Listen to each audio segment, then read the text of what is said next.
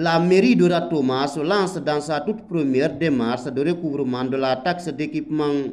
Cette taxe est l'une des recettes que l'État a bien voulu transférer aux collectivités. Elle est imposable aux propriétaires d'immeubles. Ce vendredi 24 mars 2023, le maire de la commune de Ratoma a convié les présidents de conseil de quartier à une rencontre pour leur expliquer le bien fondé de cette campagne de mobilisation de fonds. Cette décision de recouvrement de la taxe d'équipement a été prise par la mairie de Ratoma à la suite des avis donnés par les ministères de l'économie et des finances, celui du budget, de l'administration du territoire et de la décentralisation et la Cour des comptes.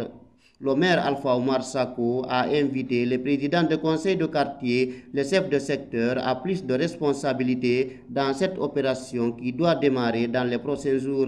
Aux chefs de quartier, chefs de secteur, nous demanderons votre collaboration. Parce que si cette taxe est recouvrée, les investissements se font dans les quartiers au bénéfice de vos populations. Donc vous êtes les premiers intéressés. C'est pourquoi nous avons pensé qu'on ne pouvait pas lancer une telle opération sans votre présence. Parce que nous pensons que l'essentiel du travail de la commune est fait dans les quartiers.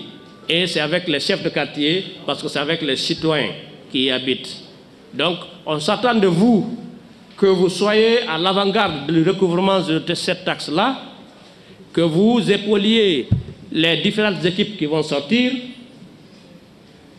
auprès des propriétaires d'immeubles. Pour le recouvrement de la taxe d'équipement, le conseil communal de la mairie de Ratoma a préalablement adopté la mesure applicable pour tous les propriétaires d'immeubles. Le barème applicable sur la surface par mètre carré est de 40 000 francs guinéens pour un taux de 25% Le barème, le niveau et le temps vont concerner les immeubles qui seront identifiés pour le recouvrement de la taxe. Le maire Alpha Omar Sako s'est également adressé aux propriétaires d'immeubles. Les propriétaires d'immeubles, eux, je leur dirais simplement qu'ils sont chez eux à Ratoma. Leurs immeubles en font foi. Et donc, ils jouissent librement de, leurs biens et en contrepartie, ils doivent s'acquitter de ce que la loi demande. Ils doivent, et c'est cette invite que je leur fais, de, ils doivent s'acquitter sans aucune contrainte en tant que citoyens. Parce que chacun doit avoir le sens civique, savoir que l'État vit de ses impôts, l'État vit des recettes et que la commune de Ratoma compte énormément sur cette recette-là. Donc, c'est l'appel là que je lance aux propriétaires d'immeubles que nous allons commencer sur le recouvrement, que nous ne souhaitons pas arriver à, à la phase de contrainte. Nous voudrions que chacun librement accepte de s'acquitter et recevra toute la documentation liée à cela, mais nous ne fléchirons pas en ce qui concerne le recouvrement de cette taxe. Cela y va de la réalisation des projets que nous avons dans notre PAI.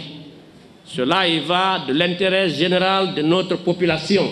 Avec des techniciens en matière de recouvrement de la taxe d'équipement, les présidents de conseils de quartier sont outillés sur comment cette taxe doit être mobilisée.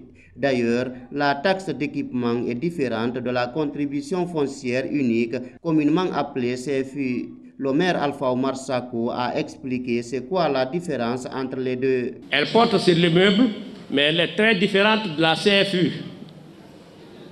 La CFU, c'est chaque année. Cette autre recette, c'est une fois pour toutes, une fois dans la vie de l'immeuble. Tu payes une seule fois, tant que tu as l'immeuble là, tu ne paieras rien du tout. Donc c'est très différent de la CFU. Euh, donc il n'y a pas de confusion possible. Et toutes les bases légales existent, et vous le diront aussi. dans nos différents textes, notamment dans le Code révisé des collectivités locales, dont les extraits euh, vous seront euh, faits. Le recouvrement de la taxe d'équipement va toucher les 34 quartiers que compte la commune de Ratoma.